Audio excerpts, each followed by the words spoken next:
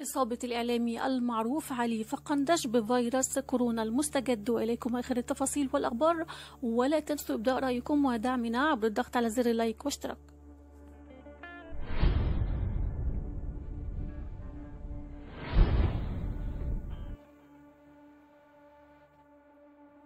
حيث تداول نشطاء على مواقع التواصل الاجتماعي مقطع فيديو للإعلامي علي فقندش يوجه فيه رسالة لمحبيه في الوقت الذي يخضع لفحوصات بعد الاشتباه بإصابته بفيروس كورونا الجديد أو ما بات يعرف باسم كوفيد 19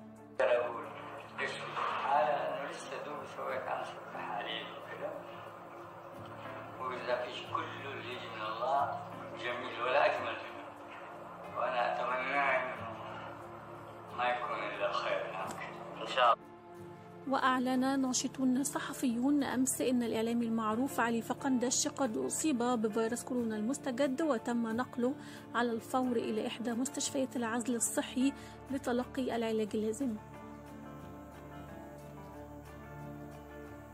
وقد أكد الإعلامي المعروف أنه تم إجراء تحاليل وفحوصات ويتمنى أن تكون الأمور بألف خير. وأشاد الإعلامي علي فقندش بالخدمات الطبية التي يتم تقديمها لمرضى كورونا داخل المستشفى الذي يتلقى فيه العلاج مؤكدا أن الأطقم الطبية والعاملين يؤدون واجبهم على أكمل وجه دون تقصير.